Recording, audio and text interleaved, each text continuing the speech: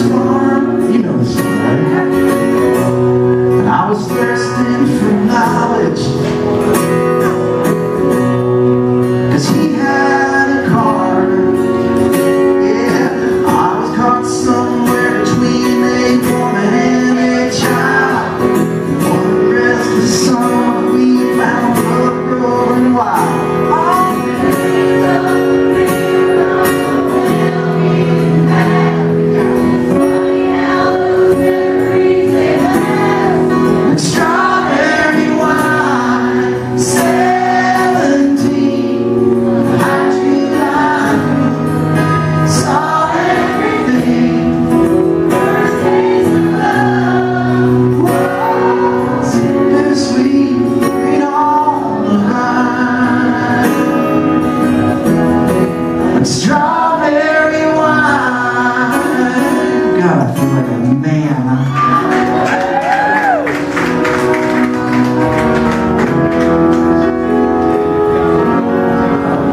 So I made I made Brian McKnight sing this to me in his living room. It's so incredible the way these work themselves out.